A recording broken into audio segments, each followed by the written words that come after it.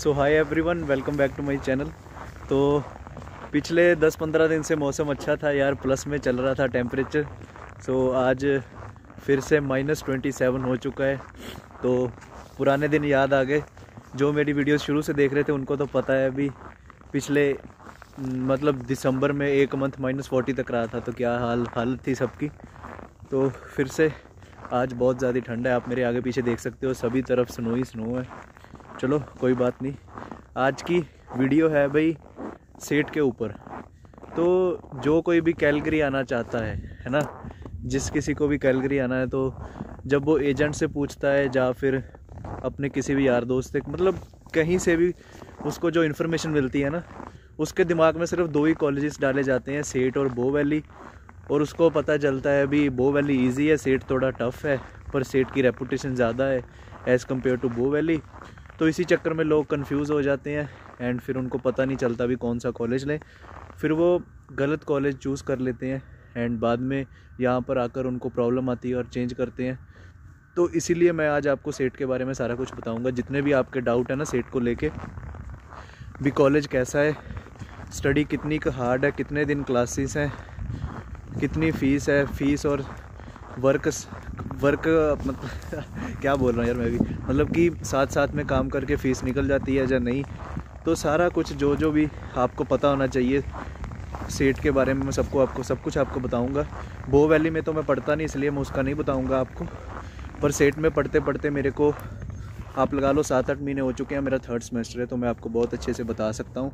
And video पूरी देखना, अगर आप मई इनटेक या सितंबर इनटेक के लिए अप्लाई करना चाहते हो सेट में, क्योंकि आपको ये चीज़ें ज़रूर पता होनी चाहिए सीट चूज़ करने से पहले, क्योंकि ये कोई ऐसा वैसा कॉलेज नहीं है जो आप मुँह उठा के ऐसे ही चूज़ कर लो। आपको कुछ चीज़ें पता होनी चाहिए। तो बिना देरी के वीडियो शुरू करते हैं, लेकिन आगे बढ़ने से पहले अगर आपको कैलगरी के बारे में ब्लॉग कैलगरी के बारे में नॉलेज चाहिए, या आपको कैलगरी के ब्लॉग्स देखने हैं तो मेरा चैनल सब्सक्राइब कर लेना। इस पर आपको कैलगरी से रिलेटेड सारा कुछ मिलता रहता है। तो बिना देरी के आ जाओ। अब बात करते हैं सीट के बारे में। मैं थोड़ा कहीं अंदर चला जाता हूँ, क्योंकि बहुत ज़्यादा ठंड है बाहर। सो लेट्स बिगिन ਚਲੋ ਹੁਣ ਮੈਂ ਆ ਗਿਆ ਅੰਦਰ ਹੁਣ ਆਪਾਂ ਤਸੱਲੀ ਨਾਲ ਬਹਿ ਕੇ ਗੱਲ ਕਰਦੇ ਆਂ ਤੇ ਤੁਹਾਨੂੰ ਦੱਸਦਾ ਮੈਂ ਫੇਰ ਪੰਜਾਬੀ ਸ਼ੁਰੂ ਹੋ ਗਿਆ ਯਾਰ ਚਲੋ वीडियो आज दी हिंदी ਦੇ ਵਿੱਚ ਹੀ होगी सारी सो बेसिकली आज की वीडियो हिंदी में होगी क्योंकि सेट में अकेले पंजाब से लोग नहीं आएंगे बाकी पूरे इंडिया से जिनको आना है तो उनको इजीली समझ आ जाए मैं क्या बोल रहा हूँ इसीलिए आज की वीडियो हिंदी में होगी so if you are guys thinking to come to SET then do watch this video because in this video I will clear all your doubts regarding SET so so, चलो अब आपको मैं बताता हूँ। तो देखो भी कैलगरी में बेसिकली फ़ेमस कॉलेजेस हैं बो वैली और सेठ ठीक है? तो अगर आपको सेठ में आना है अगर आप मई इनटेक तो मेरे हिसाब से पॉसिबल नहीं होगा। सितंबर इनटेक के लिए अगर आपको सेट चूज़ करना है एंड आप यूट्यूब पर सर्च कर रहे थे कि कोई बंदा बता दे भी सेट कैसा है कितने दिन क्लासेस लग रही हैं कितनी पढ़ाई है क्या है क्या सीन है तो आप सही जगह पर आए हो। तो मैं सेट में पढ़ता हूँ, मेरे को ती, मेरा थर्ड सेमेस्टर है सेट में पढ़ते पढ़ते। सात आठ मंथ से मैं क्लास मेरी क्लास चल रही है। तो मैं आपको बताऊँगा भी, देखो, अगर तो आपको पढ़ने आना है, वैसे तो आना तो सबको पढ़ना ही है स्टडी वीज़ा ही है सबका, पर मैं रियल वाला पढ़ना बोल रहा हूँ।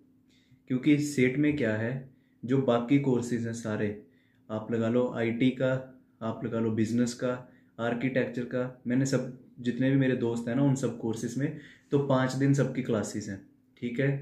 तो अभी तो ऑनलाइन चल रही हैं क्योंकि कॉलेज बंद है तो पाँच दिन उनकी क्लास है। अब आप पूछो कि भी क्लास कितने टाइम की होती है? तो क्लास कोई फिक्स नहीं है। कभी क्लास होती है उनकी आठ से दस सुबह, फिर बारह से दो, फिर तीन से साढ़े चार, ऐसे। एक दिन में दो क्लासेस तो होती हैं कभी कभी चार क्लासेस भी होती हैं। तो आप लगा लो, अगर आप कॉलेज खुल गए कॉलेज जाना पड़ा अगर आपके बाकी सारे कोर्स हैं तो आपको पाँच दिन कॉलेज जाना पड़ेगा। सुबह आठ नौ बजे कॉलेज पहुंचोगे और वहाँ से चार पाँच बजे निकलोगे, ठीक है? तो अब मैं अपने कोर्स की बात करूँ तो मेरा सिविल इंजीनियरिंग का कोर्स है। हमारी क्लास लगती है छः दिन भाई, ठीक है? छः दिन मंडे से सैटरडे बाकी मेरे को तीन चार कोर्स ही पता है, जो मैंने आपको पहले बताया, उनकी पाँच दिन लगती है तो मेरे ख्याल से बाकी भी जितने सारे हैं वो पाँच दिन ही लगते होंगे और अगर कोई सेट वाला वीडियो देख रहा है जिसकी छः दिन लगती है तो कमेंट कर देना। तो मेरा सिविल इंजीनियरिंग का कोर्स है, अगर आप सिविल इंजीनियरिंग लेने की सोच रहे हो तो आपकी क्लास छः दिन लगेगी, ठीक है? तो सिक्स डे सैटरडे को टाइम बहुत ज़्यादा ख़राब होता है, कभी सुबह क्लास होती है, कभी दोपहर में क्लास होती है। तो अगर आप सोचो भी आप वीकेंड पर काम कर लोगे तो हम तो वीकेंड पे भी नहीं कर सकते भाई, हमारी सैटरडे क्लास होती है। तो इससे डिफ़िकल्टी क्या आती है क्लासेस से? आप कहीं पर जॉब अप्लाई करते हो पार्ट टाइम तो आपका स्केड्यूल नहीं मैच करता। आपकी क्लास स्टार्ट होती है, मेरी स्टार्ट होती है तीन बजे दोपहर को। ना दिन में काम करने के लायक, ना रात में, तीन से नौ तक होती है है ना? तो ऐसे ही क्लासेस ऊपर नीचे होती हैं। आपकी सुबह से शाम तक क्लास होगी मोस्ट प्रॉबली तो आपको रात में ही काम जाना पड़ेगा नाइट शिफ्ट के लिए, ठीक है? तो और ये तो चलो क्लासेस की बात थी, अभी पाँच से छः दिन क्लास लगती है। अब मैं बताता हूँ आपको कोर्स के बारे में। कोर्स देखो, मैंने जितने भी बाकी कोर्स वालों से बात करी, सबके पाँच हैं, ठीक है? मतलब सेट अपनी तरफ़ से कोर्स पकड़ा देता है। जैसे हमारा स्कूल में होता था अभी, Hindi, Punjabi English social science math जो आपको छः किताबें पकड़ा दी हैं, आपको पढ़नी ही पढ़नी है। ऐसे सेट अपनी तरफ़ से पाँच कोर्सेज दे रखे हैं उन सभी को तो उनको वो पाँच करने पड़ेंगे। बाकी ऑप्शन है वो मिनिमम तीन भी कर सकते हैं, पर उससे उनको नुकसान क्या होगा कि अगर मान लो वो तीन कोर्स ले लेते हैं पाँच में से तो जो दो बच जाएँगे, वो जा तो उनको अगले सेमेस्टर में लेकर फिनिश करने पड़ेंगे, जा तो फिर एक सेमेस्टर उनको और लगाना पड़ेगा तो उनकी पढ़ाई बहुत ही लंबी चली जाएगी, ठीक है? तो पाँच कोर्स हैं उनके, और सिविल इंजीनियरिंग वालों के लिए छः कोर्स हैं, ठीक है? मैं पिछले तीन सेमेस्टरों से छः कोर्स ले रहा हूँ मेरी मर्ज़ी है, वैसे तो मैं तीन चार, तीन ले सकता हूँ मिनिमम पर मैं नहीं लिया क्योंकि एक तो ऑनलाइन है बेनिफिट है, जितनी जल्दी ख़त्म हो सके कर दो। बाकी अगर मैं कम ले लेता हूँ तो मेरे को अगले सेमेस्टर में ज़्यादा लेने पड़ेंगे। अब देखो, मेरा थर्ड सेमेस्टर है, मैंने छः कोर्स ले रखे हैं, अगले फोर्थ सेमेस्टर में फिर से छः पड़े हैं। अब अगर मैं इसमें मान लो छः में से चार ले लेता तो दो बच जाने थे तो जा तो अगले सेमेस्टर में मेरे को आठ कोर्स लेने पड़ने थे जा तो फिर मेरे को एक और सेमेस्टर लगाना पड़ेगा तीन चार महीने का दो सब्जेक्ट ख़त्म करने के लिए। तो पढ़ाई लंबी हो जाएगी, इसीलिए मैंने नहीं किया ऐसा। तो पाँच छः दिन क्लासेस पाँच से छः कोर्स हैं, ठीक है? आपको ये सब पता होना चाहिए। और आपको बता देता हूँ भी सेट में काम बहुत ज़्यादा देते हैं। आपको डेली क्विज मिलेगा असाइनमेंट भरी पड़े रहेंगी, तीन तीन चार चार असाइनमेंट होंगी। असाइनमेंट क्विज लैब और ग्रुप वर्क प्रोजेक्ट काफ़ी कुछ। मतलब कि अगर आप सोचो कि आप सुबह से शाम तक कॉलेज जाओगे और रात को आके काम पर चले जाओगे तो बहुत मुश्किल होगा, क्योंकि आपको आके स्टडी करनी पड़ेगी। ठीक है? स्टडी करनी पड़ेगी। अगर आप नहीं पढ़ोगे तो आप फेल हो जाओगे। मेरी क्लास में हैं दो तीन बच्चे थे जो एक दो सब्जेक्ट में फेल हो गए। उनको सतारह अठारह सौ डॉलर दे के फिर से वो कोर्स लेना पड़ा। एक दो सेमेस्टर उनको और लगाने पड़ेंगे, उनकी पढ़ाई भी लंबी चली जाएगी। और उनको साथ में प्रोबेशन पीरियड पर भी डाल दिया है। प्रोबेशन होता है भी आप, अगर आपने फिर से ऐसा ही किया तो आठ मंथ के लिए आपको कॉलेज से निकाल देंगे।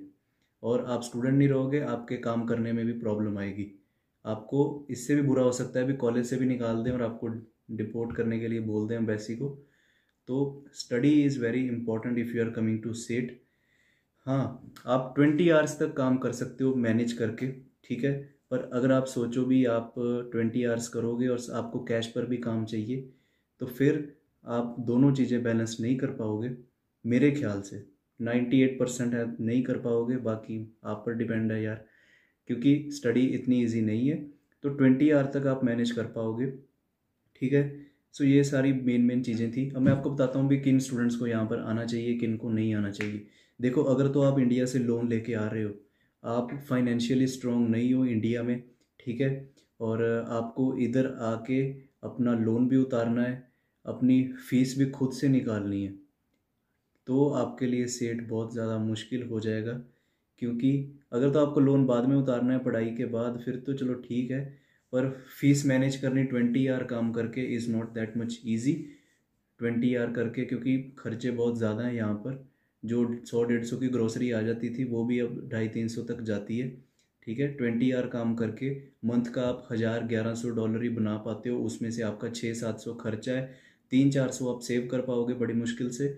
छः सौ आपकी जी एस से मतलब हर मंथ आपका लगा लो कि हम्म, छः सौ वन थाउज़ेंड डॉलर तक सेव होगा अगर आप ट्वेंटी आर काम करते हो।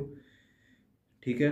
तो साढ़े तीन month three point five month के बाद आपका सेमेस्टर ख़त्म हो जाएगा तो आप लगाओ कि एक सेमेस्टर ख़त्म होने तक आप चार हज़ार डॉलर तक सेव कर पाओगे। अगर आप खर्चे कम करते हो, कंजूसी से चलोगे तो इंडिया से आप दो सेमेस्टर की फ़ीस दे के आओगे आठ महीने की। तो आठ महीने तक अगर आपको आते ही काम मिल जाता है और आप जल्दी आ जाते हो, जैसे मेरे केस में क्या था कि मेरी मई इनटेक थी और मैं आया अक्टूबर में। तो मेरे पास सिर्फ़ दो ही मंथ थे। जनवरी में फ़ीस देनी थी थर्ड सेमेस्टर की तो डिफ़िकल्ट रहा मेरे लिए। पैसे इकट्ठे नहीं कर पाया था मैं इतनी ईजीली तो अगर आप स्टार्टिंग में ही आ जाओगे, मान लो आपका सितंबर इनटेक है, आप सितंबर में ही आ जाओगे तो जब तक आपका दूसरा सेमेस्टर ख़त्म होगा, आठ मंथ तक आप थर्ड फ़ीस आठ हज़ार डॉलर इकट्ठी कर लोगे। उसके बाद जब फोर्थ सेमेस्टर अगर आपका साथ में हुआ, आपको ड्रॉप नहीं हुआ तो आपका थर्ड सेमेस्टर तीन चार मंथ में ख़त्म हो जाएगा। तो आप तीन से चार हज़ार ही सेव कर पाओगे, तीन चार हज़ार आपका कम पड़ जाएगा। मतलब फ़ीस जैसे तैसे हो जाएगी, अगर ड्रॉप वगैरह मिल जाएगा बीच में, क्योंकि सेमेस्टर ब्रेक भी आती है, जैसे आपका सेमेस्टर ख़त्म होता है तो उसके बाद पंद्रह दिन की छुट्टियाँ आती हैं, उसमें आप फुल टाइम काम कर सकते हो तो फ़ीस चलो हो जाएगी, ठीक है? पर आपको स्टडी करनी पड़ेगी साथ साथ में डेली असाइनमेंट वगैरह करनी पड़ेगी। एंड इंडिया से दो तीन चीज़ें ज़रूर सीखाना, एक तो एक्सेल चलाना क्योंकि एक एक्सेल यहाँ पर बहुत यूज़ होता है असाइनमेंट में। मेरे को नहीं आता था एक्सेल चलाना, पर अब मैंने सीख लिया है तो मेरे को बहुत सारी मुश्किलें का सामना करना पड़ा। एक्सेल माइक्रोसॉफ्ट वर्ड और पावर पॉइंट ये तीन सॉफ्टवेयर हैं जो आपको आने ही चाहिए। इनके बिना आप कनाडा में स्टडी नहीं कर सकते, क्योंकि सारा असाइनमेंट सिस्टम एजुकेशन सिस्टम इन्हीं के ऊपर बेस्ड है तो आपको ये तीन ज़रूर सीख कर आने पड़ेंगे। एंड अगर आप सेट में आ रहे हो तो एक बात याद रखना कि आपको बाद में वैल्यू मिलेगी क्योंकि अब मैं जहाँ पर भी जाता हूँ, अगर मैं बताता हूँ भी मैं सेट में पढ़ता हूँ तो यही सुनने को मिलता है कि very good college reputative college है। आगे जाके स्कोप है कि आपको जॉब वगैरह मिल जाए। बाकी अगर जब मिलेगी, आपको बता दूँगा, मिलेगी, नहीं मिलेगी भी सेट में पढ़ने का कोई बेनिफिट हुआ या नहीं हुआ, वो आपको पता चल जाएगा। चैनल सब्सक्राइब कर लेना। जैसे जैसे आगे लाइफ जाएगी, आपको सब कुछ दिखाता जाऊँगा। ठीक है? तो अगर आप बो वैली आना चाहते हो तो वो भी गुड कॉलेज है। उसमें अगर आपको काम थोड़ा ज़्यादा करना है तो बो वैली इज़ बेस्ट पर अगर आपको ज़्यादा काम नहीं करना है, आप बीस तीस घंटे हफ़्ते में करके सेटिस्फाई हो और आप पढ़ सकते हो। इंडिया में भी आप अच्छा खासा पढ़ लेते थे तो सेट चूज़ कर लेना। बिल्कुल सही है कॉलेज कोई बुरा नहीं है। सारे दूर दूर से लोग यहीं पर हैं और बहुत ही इंफ्रास्ट्रक्चर ब्रॉड है सेट का। आपको बहुत कुछ सीखने को मिलेगा। हम तो नहीं सीख पाए क्योंकि हमारे क्लासेस ऑनलाइन ही थी सारी, कोरोना बाबा की वजह से। पर मैं सेट में जाकर देख कर आया हूँ, वहाँ पर लैब जो हैं, इतनी मतलब बढ़िया बढ़िया लैब है ना, आप, अगर आपको कॉलेज इन पर्सन होगा तो आपको बहुत कुछ सीखने को मिलेगा एंड ऐसा कुछ आपको सीखने को मिलेगा ना, जो आपको फ्यूचर में बहुत काम आएगा। ठीक है? तो ये था सारा कुछ बेसिकली जो मेरे दिमाग में आया सेट के बारे में। मैंने सोचा आपको ज़रूर पता होना चाहिए सेट के बारे में। अगर आपका इसके अलावा भी कोई डाउट है, आपको कुछ जानकारी चाहिए तो इंस्टाग्राम की आईडी मेरी डिस्क्रिप्शन में आप मेरे को कांटेक्ट कर सकते हो। या फिर कमेंट डाउन कर देना इस वीडियो के नीचे मैं आपको ज़रूर जवाब दूँगा। अभी मेरे दिमाग में जो जो चीज़ें आई मैंने आपको बता दी। So yeah that's all for SAIT so आज की वीडियो यहीं तक। आई होप आपको बहुत सारी इन्फॉर्मेशन मिली होगी। एंड uh, अगर आप सेट में पढ़ते हो तो कमेंट कर देना। Hi I also study at SAIT so yeah that's it thanks for watching do subscribe to my channel and मिलते हैं आपको किसी और वीडियो में। Bye Thank